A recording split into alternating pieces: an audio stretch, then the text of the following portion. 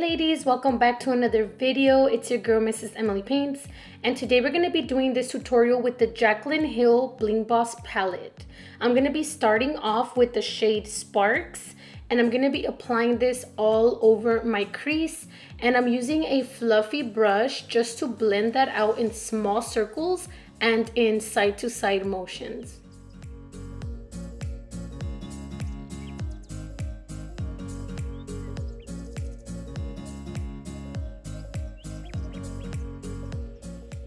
Remember to use small amounts, ladies, because we do not want to make a mess with this dark eyeshadow. So just start building up the intensity little by little.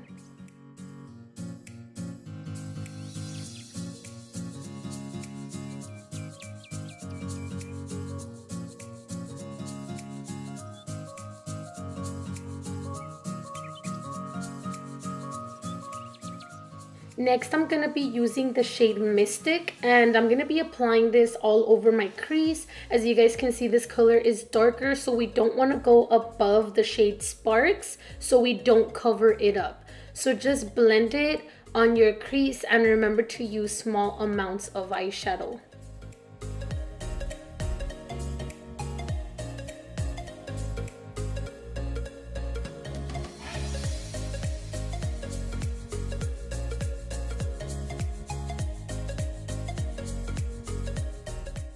Remember to subscribe to my channel, you guys, if you want to see more of my tutorials.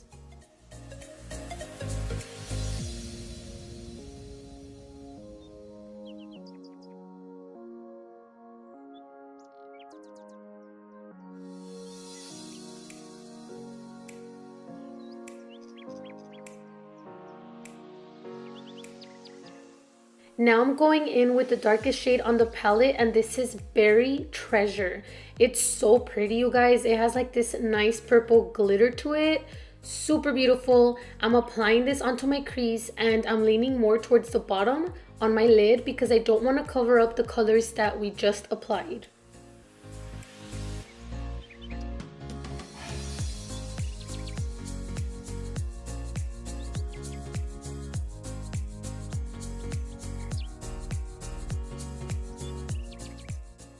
Okay girl, you're gonna wanna stay till the end of this video because I'm gonna show you some bomb ass tricks. So this is the Beauty Creations foundation and this has such a thick consistency. It's medium to full coverage and I like to use this to cut my crease as if it were a concealer or a primer and this just gives me a very nice smooth canvas and I've been loving it lately. I've mentioned this in my videos recently and girl it does make a difference so I do recommend you get something like this to cut your crease.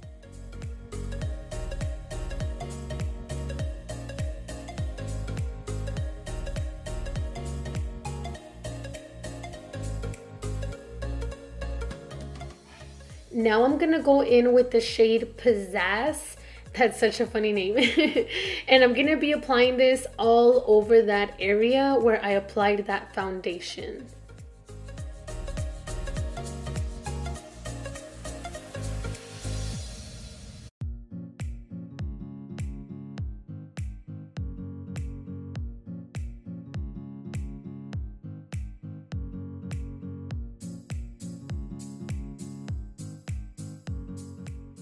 Okay, here's another trick that makeup artists don't tell you. I'm going in with the shade Sparks again and with that same brush, just a small amount of product, I'm gonna blend this shade onto that outer corner of our eye just to blend out that harsh line from the foundation that I used.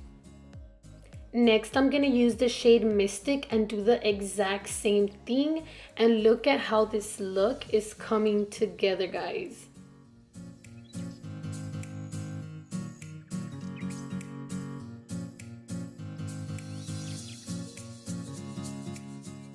And lastly, for this step, I'm going back in with Berry Treasure, but only a small amount because I don't want it to go everywhere. And for my under eye, with the smaller brush, I'm going to be taking the shade Sparks, which is what I'm using right now, and I'm to blend this in side-to-side -side motions as close as possible to my eye or to my waterline. Do not get on your waterline, you guys. You don't want powder inside your eye. And now I'm going in with a black eyeliner and this is from Italia Deluxe, which happens to be my most favorite eyeliner of all time.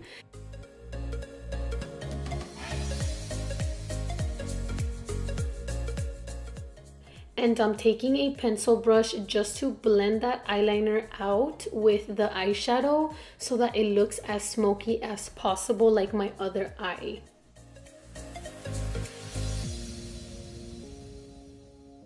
Okay, so now I'm using the Cavalli Lash Glue and you guys, normally I use duo glue, but I ran out unfortunately. So this is what I'm working with, but it works just as good.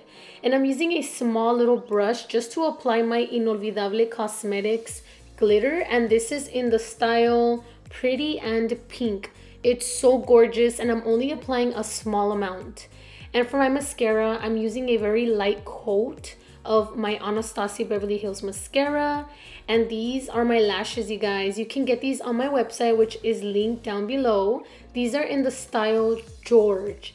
These are so gorgeous, so big and full and fluffy. You guys would love using these. And you can use them over and over again. You can use these up to like 30 times. So yeah, ladies, you made it to the end of this makeup tutorial. I hope you guys enjoyed it. Remember to subscribe and comment glitter down below so I know you watched it all the way through. And I'll see you guys in my next video. Bye!